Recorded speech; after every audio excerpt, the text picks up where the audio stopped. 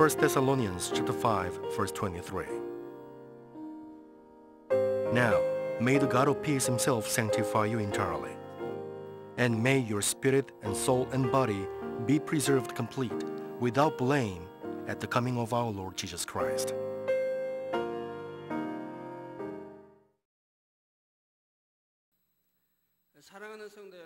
Viewing audiences, in the last session, I told you about the spiritual meaning of the word flesh, creation, and the seed of life, along with brief introduction of the concept of spirit, soul, and body.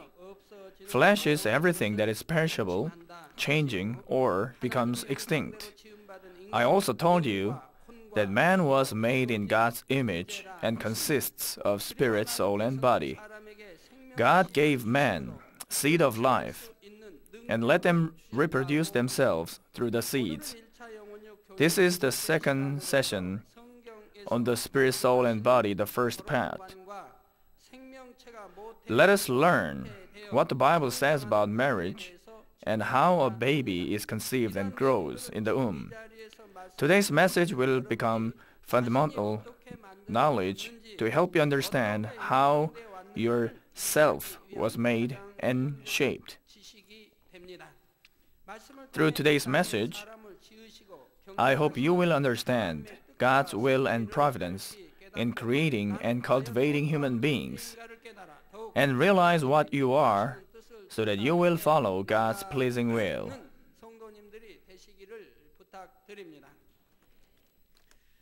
Viewing audiences, some couples say when they get married, we met and married by the will of God. Wedding officiator often says, God has joined together this couple. Then do most couples meet by the will of God? It's not really so. Most of them chose their partner not because God appointed them as a couple, but because they are attracted to each other. But sometimes God appoints some couples. For example, young believers ask God for their partner when they are to marry. If they pray for their partner by faith and leave it to God, God prepares their proper partner according to their faith and lets them get married. But there are few of this kind of couples. Suppose somebody is praying to God saying, God, I want this kind of spouse. He should have good college degree, his family should be like this, his appearance should be like that, and his character is like this. Then she meets a man like that by coincidence. But she says it was the answer of God. She decided everything on her own and says she received the answer. God's answer cannot be given like that. God's will for us is to trust Him and commit everything into His hands completely. It is not to decide everything on our own and then ask God.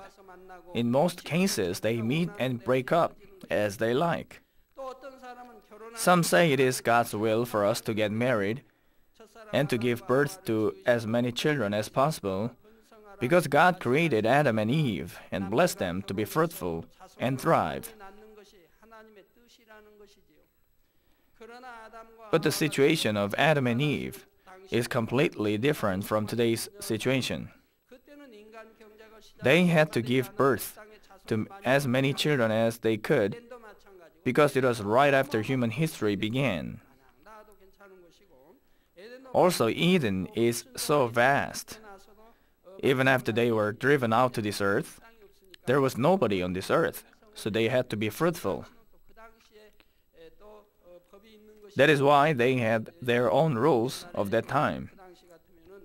At the time of Adam, they had to get married with brothers and sisters because there was nobody else. When Abraham uh, looked for his son Isaac's wife, he found somebody from his relatives, not from just any foreigner. What does the Bible say at the time of the Apostle Paul about 2,000 years ago? Paul said in 1 Corinthians chapter 7 verse 7, I wish that all men were as I am. He wished all men would be single, like him. So he added in 1 Corinthians chapter 7 verse 26, because of the present crisis, I think that it is good for you to remain as you are. Of course, these two verses do not mean that marriage is a sin before God. 1 Corinthians chapter 7 verse 38 says, So then, he who marries the virgin does right. When you have a virgin daughter, and if you marry your daughter, you are doing right. But he who does not marry her does even better. It's better not to marry her. It's not wrong to get married, but it is better in the eyes of God not to marry. Why is it so?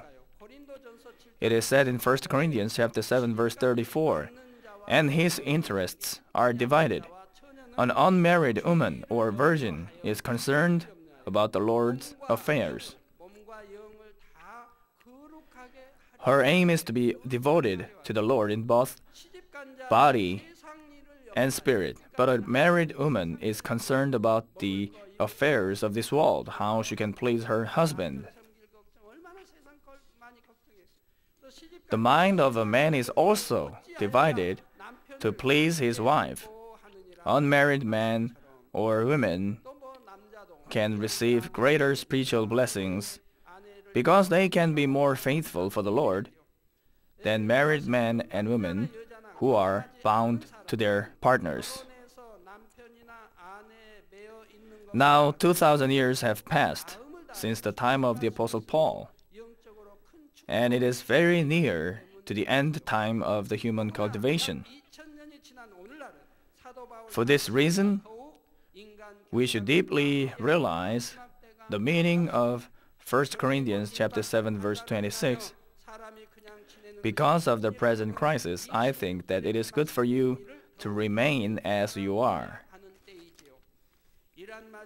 Looking at these verses, we can realize that it is a wrong idea that God manages human marriage and appoints a spouse for each one. If you completely leave everything to God and receive the answer to your prayer, you may say you are marrying within the will of God. But if you just pray as you like, you cannot say God appointed your spouse. Nevertheless, believers should ask God to guide their marriage when they want to get married. They should pray that God may let them meet a good partner so that they will encourage each other to be more faithful for God's kingdom and that they can share spiritual love with each other rather than losing their love for God or becoming lazy in God's works.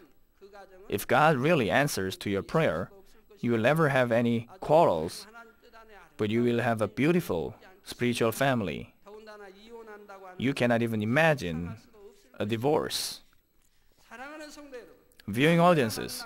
A new life is conceived through the combination of a sperm and an egg when a man and a woman marry and are united. A new baby is conceived when man's seed of life is sowed on the field of the woman, just as a seed is sowed on the land and bears fruit. If a baby is conceived in a womb, he grows for nine months and becomes a whole man. If you look into the conception and growth of a new baby, you can feel the mysterious providence of God the Creator. You may find this message a little difficult because professional terms are used, but you will be able to feel how mysterious and exquisite God's creation of life is.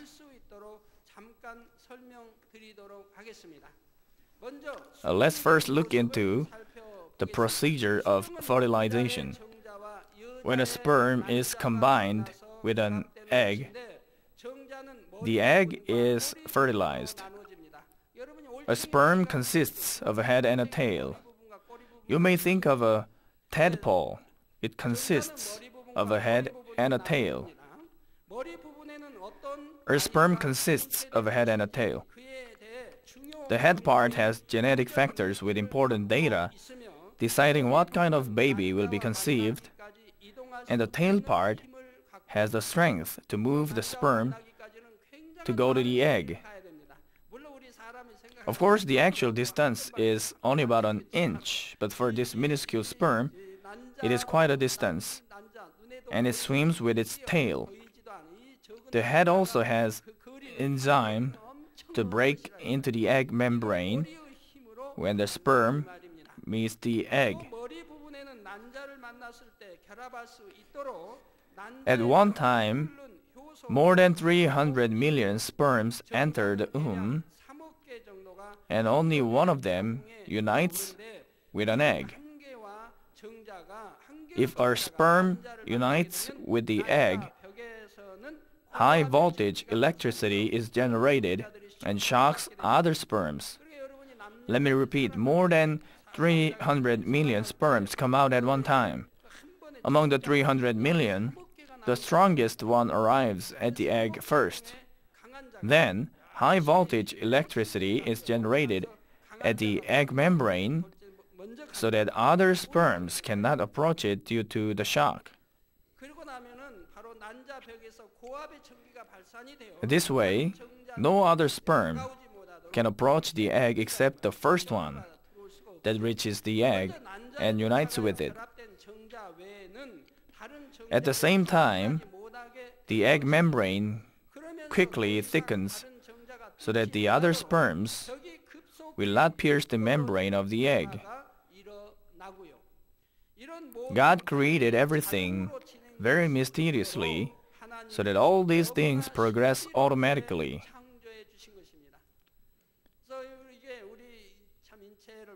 So from our head to toe, there are so many things that move automatically. The brain cells, the eyes, nose, tongue, inside the mouth, both ears, stomach and all entrails move automatically without any error. No matter how much science develops, we cannot make this kind of automatic system made by God. The heart pumps and the kidney refines the blood and sends it to the veins that can cover the earth many times if stretched out. All our body parts, bones, nerves, and all the cells move automatically from our head to toe. How amazing this is. The fertilized egg is divided into two in a day, into eight in two days, and into 16 the next time. After eight days, the fertilized egg settles down on the uterus and begins to make completely different changes after two weeks. After three weeks, the heart begins to beat, and one week after that, the brain, spine, and nerve systems are made. After 12 weeks of fertilization, the height is about 5 centimeters, the weight is 30 grams, and the arm's length is 1 centimeter. Besides, fingerprints appear and all organs begin to be formed. The weight of the fetus in the uterus increases by 2 million times from when it is first fertilized. Its height and weight increase by 20 times every second. It can be called change in a blink. For the weight to increase by 20 times a second, there must be corresponding amount of cell division. And for the cell division to take place, there must be increase in number of DNA. There are 3 billion genetic data in one DNA. Suppose that DNA is a house and each genetic datum in it is a brick. Then, cloning a DNA can be compared to building a house with 3 billion bricks. All the bricks order must be the same to that of the original house without a single brick missing. All of 300 million bricks must be linked together in the same order in less than a second and be positioned at the same place. Is it possible by coincidence? It is possible only with the power of the Almighty God. Accordingly, so many life scientists admit the existence of God the Creator because of these mysterious facts. Viewing audiences, the fetus nerve system begins to develop, and its blood, bones, muscles, veins, and internal organs begin to be formed after a month of its conception. After two months of conception, a baby's heart begins to beat, and its head and limbs can be recognized because it begins to have body structure. After three months, its face is made, and it begins to move its head, body, and limbs. After four months, its organs that are necessary for sustaining life begin to work. Since five months, it begins to move more actively, moving muscles or checking the surroundings, and its hearing ability develops. In six months, its digestive organs develop, and it grows faster than before. In seven months, hairs on the head grow, and seminal glands enter the scrotum by sex hormone in case of a boy. In case of a girl, her sexual organ is completed in eight months.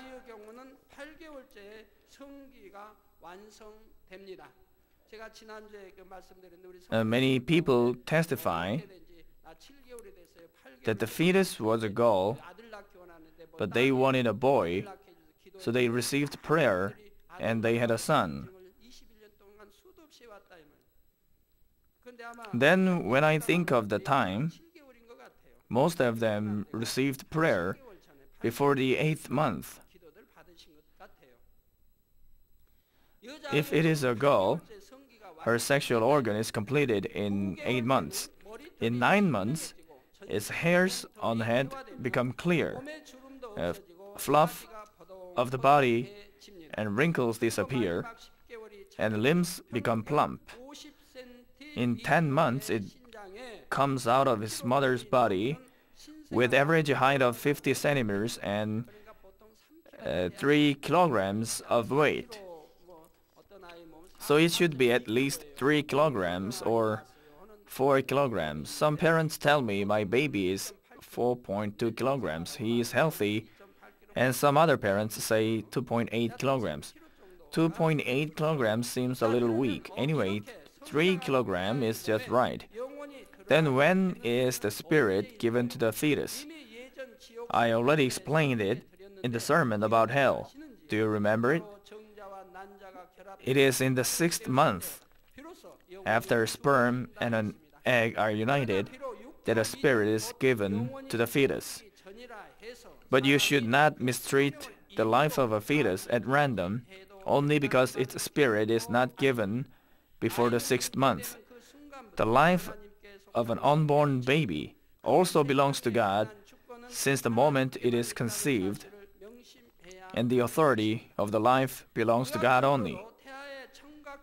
After five months, the hearing organs are almost completed and closed eyes are opened as eyelids are formed. Wrinkles of brain activating the function of cerebrum are made from 5 to 6 months. Actually, the Bible shows that a six-month-old fetus responded to the work of the Holy Spirit. It says in Luke chapter 1 verses 41 to 44, when Elizabeth heard Mary's greeting, the baby leaped in her womb, and Elizabeth was filled with the Holy Spirit. In a loud voice she exclaimed, Blessed are you among women, and blessed is the child you will bear. But why am I so favored that the mother of my Lord should come to me? As soon as the sound of your greeting reached my ears, the baby in my womb leaped for joy. Again it says, Blessed are you among women. It's because she had the Son of God, the Savior Jesus, in her womb. And blessed is the child you will bear. But why am I so favored? That the mother of my Lord should come to me. It says the baby in the womb is the Lord. As soon as the sound of your greeting reached my ears, the baby in my womb leaped for joy. When Mary, who had Jesus, visited Elizabeth, who had John the Baptist six months earlier, the six-month-old fetus John leaped with joy because it was filled with the Holy Spirit due to Jesus. How marvelous it was. In this way, unborn baby is already live, and six-month-old fetus is a spiritual being who can be filled with the Holy Spirit.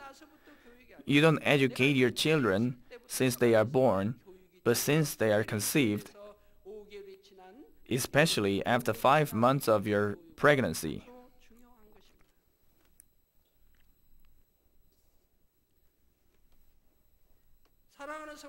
Viewing audiences, an unborn baby grows up in the womb for nine months. The nine months are very important for the development of fetus body and formation of its character, personality, and intelligence. For example, unborn baby is supplied with what its mother eats and drinks.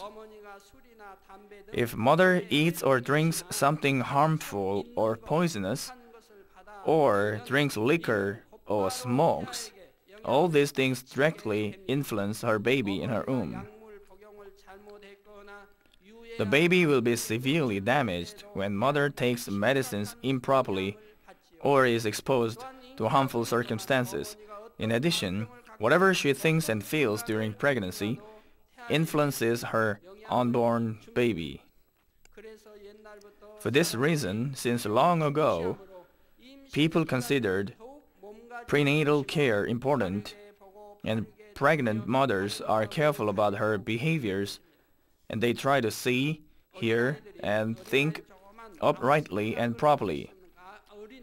There are some newborn babies who are one month, 40 days, or 50 days old, and were dying, but were revived by my prayers.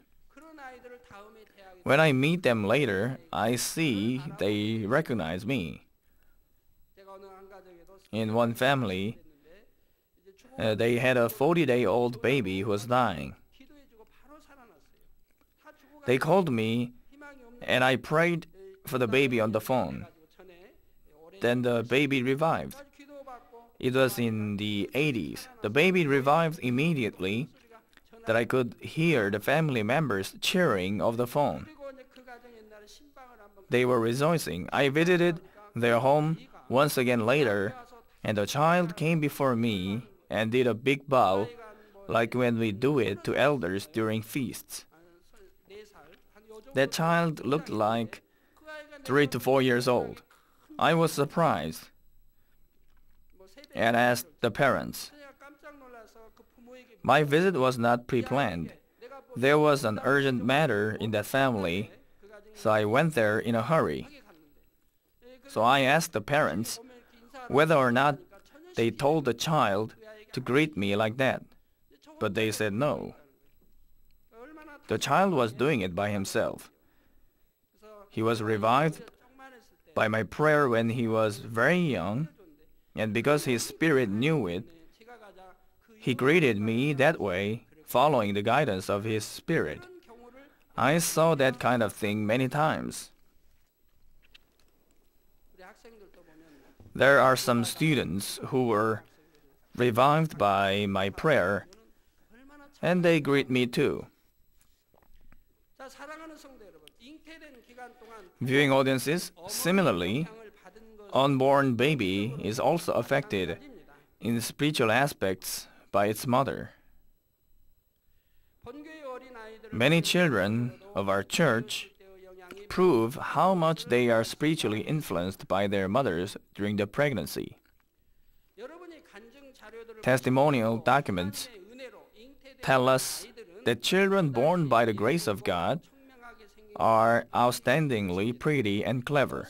Many parents say that because they were faithful to the Lord and prayed earnestly during the pregnancy, their children are meek and wise, and they grow up very well. You should work hard for God's kingdom and pray continually during your pregnancy. If you stop praying and neglect God's works, giving excuses that you are pregnant and tired, God cannot help you deliver the baby easily and quickly. And I also see their children may have problems while they grow up. God will take care of those children in all their ways because He has already given them His grace since they were in the womb. Thus, your children are healthy in spirit and body and grow wisely when you understand this and raise them in truth with faith. The Bible gives us such examples. Samuel was born by God's grace through his mother's prayer. He could communicate with God since his childhood and became a great prophet in God's sight when he grew up. He was raised with prayer because he did not input anything of this world. He could hear God's voice since his childhood. It was the case with John the Baptist too. John the Baptist was controlled by the Holy Spirit since he was a fetus, because he was conceived by the work of God. Luke chapter 1 verse 80 says, And the child grew and became strong in spirit, and he lived in the desert until he appeared publicly to Israel. He didn't have any worldly friends or anything like that. He grew up in the desert. He didn't have any contact with the world, but only prayed. He didn't eat worldly food, but only locusts and wild honey. He prepared the way for the Lord's coming to the world in the guidance of the Holy Spirit. Because he grew up with purity, without putting in any of the worldly things, he could prepare the way of the Lord. Viewing audiences, we looked into the conception of body and its formation. Then how can thinking power, the most unique characteristics of man, works?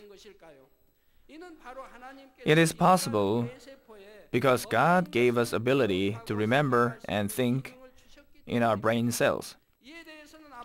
This topic will be explained in detail when I preach about man's soul later. Now let me just tell you briefly with an example. Computers have memory device to store data. We input data into this memory device to store it and retrieve and use it when necessary. In the same way, men have a very excellent memory system in brain unlike animals. Science has now developed and we make computers imitating the memory device of man. Computers cannot function properly or process the command of the user if the computer's hardware has a problem.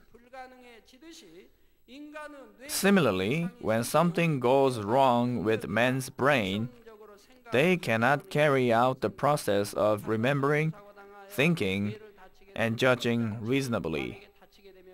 If their brain is damaged in a traffic accident, they might even have a memory blackout. Unborn baby already has the brain during the pregnancy, but cannot store knowledge or utilize it because he has nothing to see and hear. But after the birth, he sees, hears, and feels different things and inputs them one by one in his brain along with feelings. Babies suck on their mother's breast by instinct, even though nobody tells them what milk is or that they can survive by drinking the milk of their mothers. They first look for the breast, and it's same for other animals too. They first look for milk because they have to drink it to survive. Then when they suck, they suck very strongly because they have to drink the milk. God gave that strength to the baby. They can suck harder than adults. When they suck, the milk comes out very well. By the way, God tells us to be joyful always.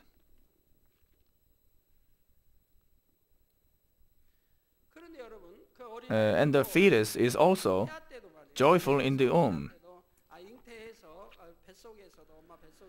They always rejoice in the womb.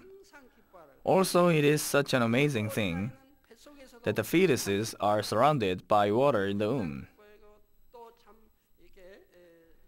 In Genesis, we can see the earth was covered with water, and God divided the upper and lower water they are covered with water. So also they rejoice always, even though nobody tells them to do so. They smile all the time. They smile when you look at them. You say, oh, the baby recognizes his mother. Also, when the baby smiles at his father who came home after work, some of you say, oh, she recognizes her father. But God gave the babies this, this instinct so that they smile since the time they are in the womb. They smile when other people look at them. But as worldly things come into them, their pure smiles begin to disappear.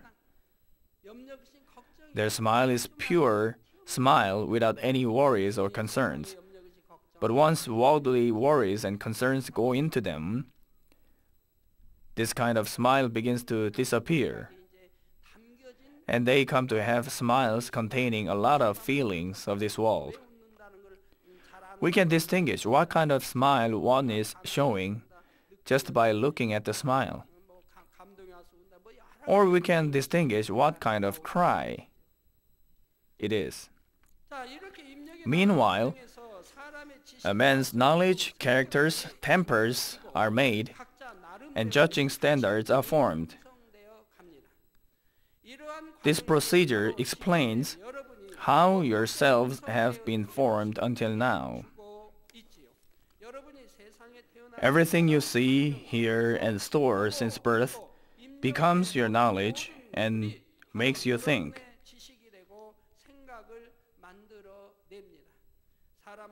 So each one has his own thoughts and standards that are different from others. Because each one's circumstances and education is different, and what he sees, hears, and stores in his brain is different.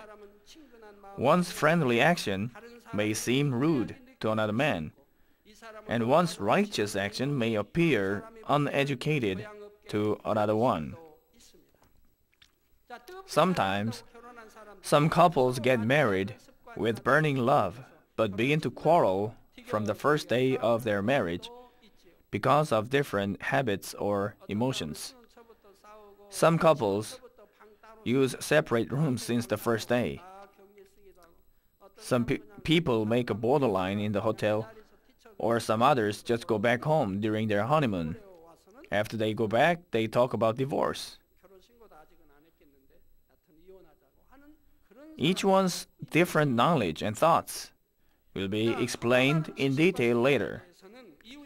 But there is one thing you should remember today.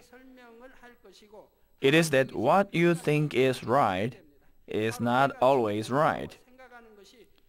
It is only the Word of God that is the absolute truth in this world.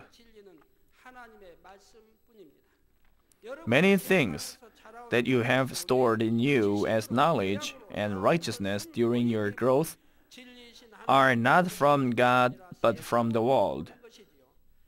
Therefore, you should not judge others according to your own standards. Still less, you must not judge God's word at all. Let me conclude the message. Viewing audiences, today we learned about the marriage and the conception and birth of our body. In order to understand about man consisting of spirit, soul, and body, we should understand how our visible body is conceived, how it is delivered, and how it grows. So I explained it, although it was a little difficult.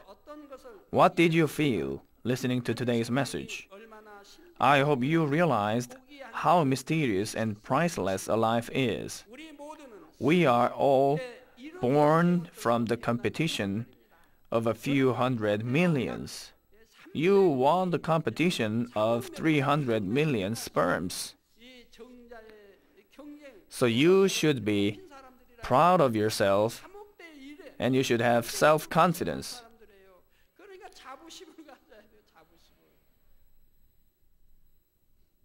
But today, if, have a, if you have a problem, it means there was a problem in the process of your growth.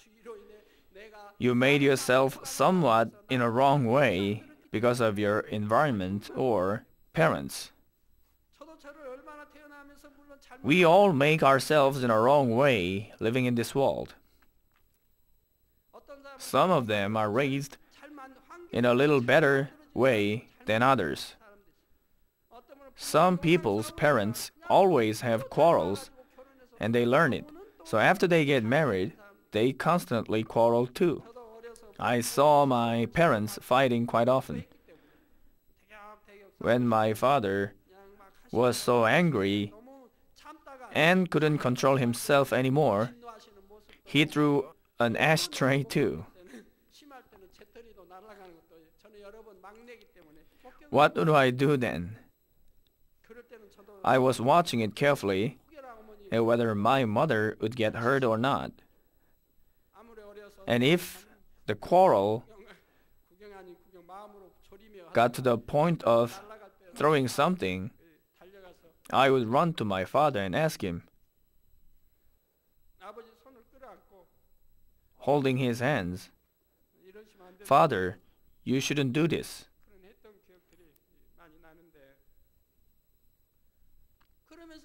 Then how did I make myself? I thought it's not right. I would never follow this when I get married. How heartbreaking it is to watch it. I would never let my children see this kind of thing. I made up my mind that way since I was young. We should make ourselves in a good way. But some people rebel against their parents because their parents have quarrels with each other. Then they take wrong way, making their characters and everything that way. So you cannot blame anybody. If your circumstances are not good, you can improve yourself through the difficulties. It is not always true that you will be made in a good way only if you are in good circumstances. If you are in a good situation, you do not know what difficulty is, so it hinders your growth. It depends on how you input things, how you learn them, and how you make yourself. So you should listen to this spirit, soul, and body lecture on how you made yourself. You should find out what is wrong and change it. That way you can become a man of spirit. We are all born after the going through the competition of a few hundred millions. What an admirable thing a life's birth is when we look at the process of fertilization to growth until delivery. We are here not by coincidence but by the providence of God the Creator. Therefore, Romans chapter 1 verse 20 says, For since the creation of the world, God's invisible qualities, his eternal power and divine nature have been clearly seen, being understood from what has been made, so that men are without excuse. And Romans chapter 11 verse 33 says, Oh, the depth of the riches of the wisdom and knowledge of God, how unsearchable his judgments and his paths beyond tracing out. In this session, we just looked into a fragment of what God created.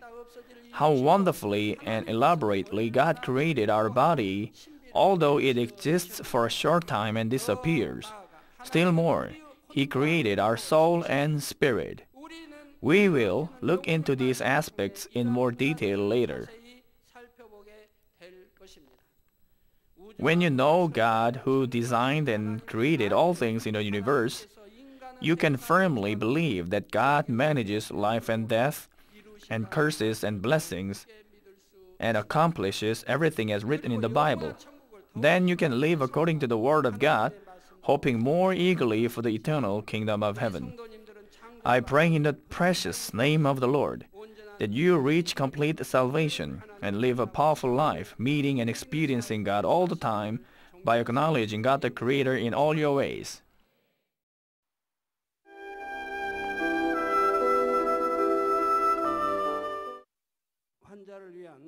I will pray for all those who are sick. Place your hand on sick parts and infirmities of your body and receive this prayer. If you are not ill, place your hand on your chest and receive this prayer for the desires of your heart. The work of the Almighty God transcends time and space. He will also work according to your faith. No matter where you are, when you receive this prayer in faith, you will surely experience the astonishing power of God.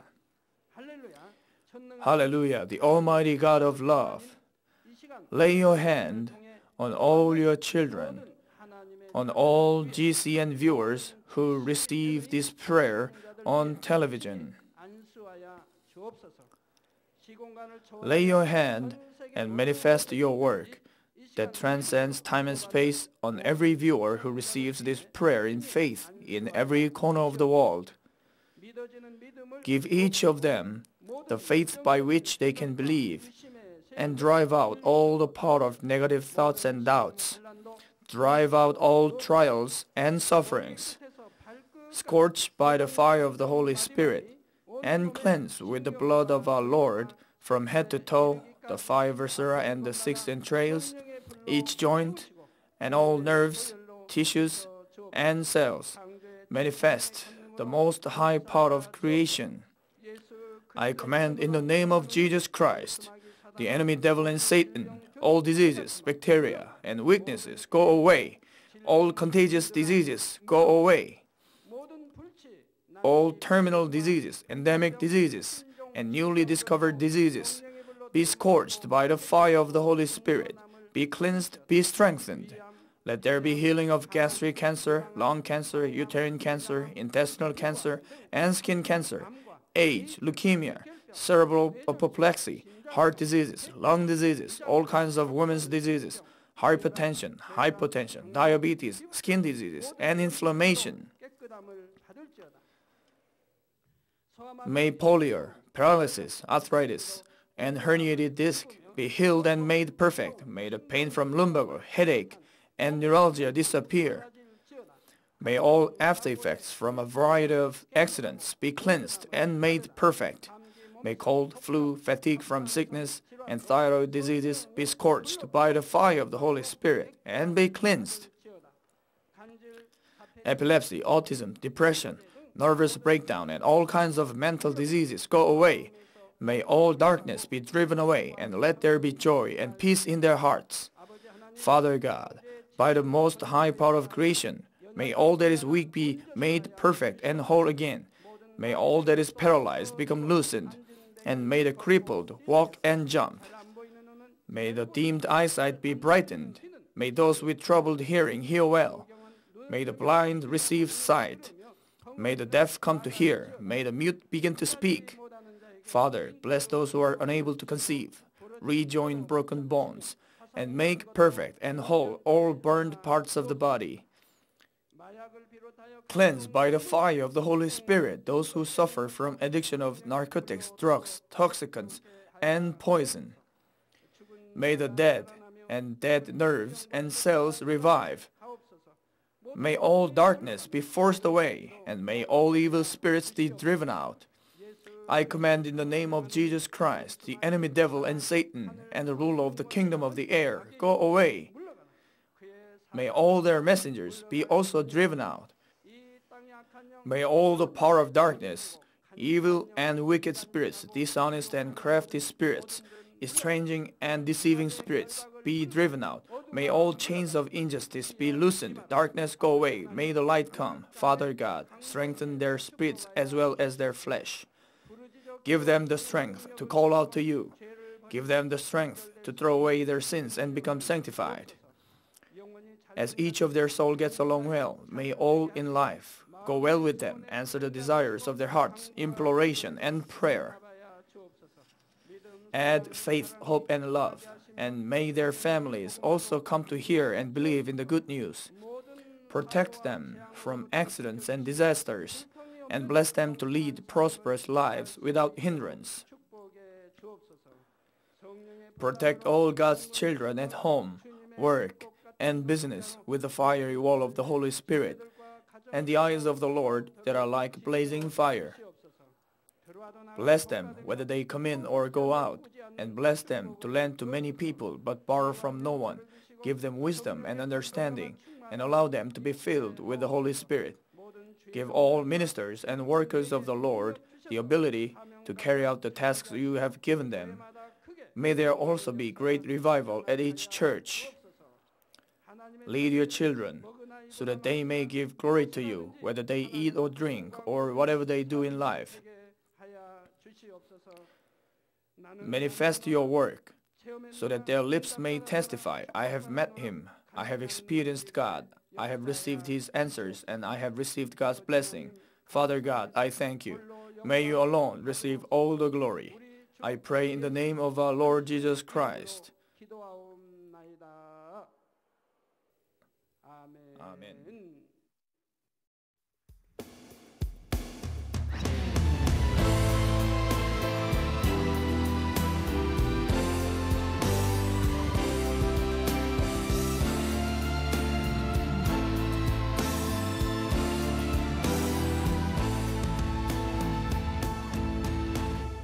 주를 위해 살아가는 것 쉽지만은 않아